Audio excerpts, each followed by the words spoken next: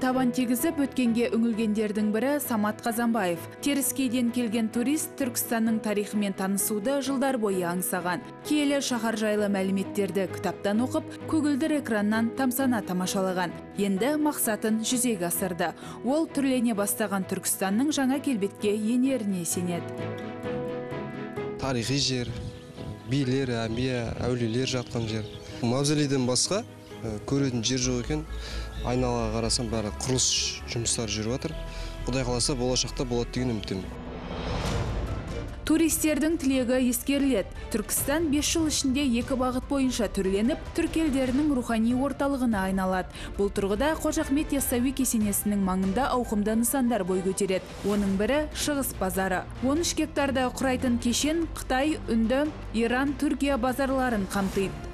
Аумағында елуден астам тамақтану орны қонақ үйлердің де қазығы қаланады. Жоба жеке инвесторлар есебінен салынады. Қала орта азиядағы ең ірі сауда орталығына айналады. Қазіргі күні жобаны жүзеге асыратын ауқымды жұмыстар легі қолға алынды. Бүгінгі таңда бұл жер- э, шығыс базары жоспарланған аумақтың жер телімдерін мемлекеттік мұқтаждыққа қайтару бойынша бағалау жұмыстары жүргізіліп э, 290-ға жуық э, тұрғын үйді э, мемлекеттік мұқтаждыққа алу жоспарланған. Бүгінгі таңда бір- біршама жұмыстар жүргізіліп үйлер қайтарылуда. Шежірелі шаһарда қазақ драма театры мен амфитеатрда бой көтереді. Халықтың жан дүниесін байытып дүниетанымын кеңейтетін мәдени ғимараттар бір жыл көлемінде ел игілігіне беріледі. Ұлт құндылығын насихаттап дәстүрді дәріптейтін қолөнер орталығының да құрылысы басталды. Ғимаратта көнеден келген туындылардың жасалу технологиялары жаңғырады. Туристердің назарын аударатын нысанның бірі шығыс моншасы болмақ. Әзірет сұлтан қорық мұражайының территориясында орналасқан 14 ғасырдағы шығыс моншасы бар.